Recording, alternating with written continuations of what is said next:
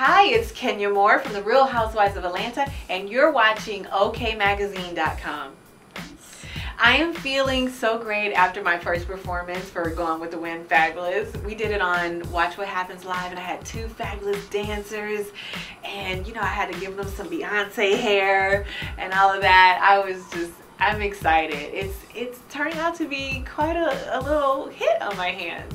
Um, I'm not Celine Dion. It really doesn't matter. This is a song just for fun. I thought it was a cool way to show people that you don't have to listen to people that hate on you all the time, that say you're not good enough, you're not this, you're not that, or say negative things about you constantly because you don't have to believe it. As long as you think you're fabulous, it doesn't matter what anybody else says. So it really is a song about empowering and uplifting people. So I'm happy about it.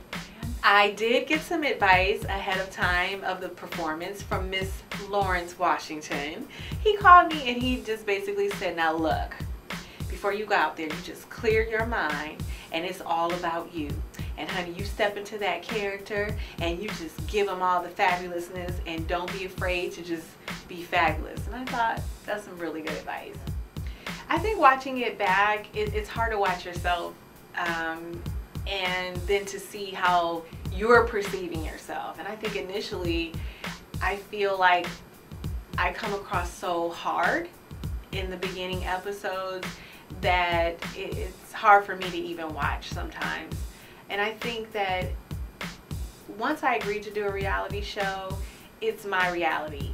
And whatever I'm going through is what I'm going through. And if if I was in a scene or a situation, you have to have original and, and um, authentic emotions and you can't fake that.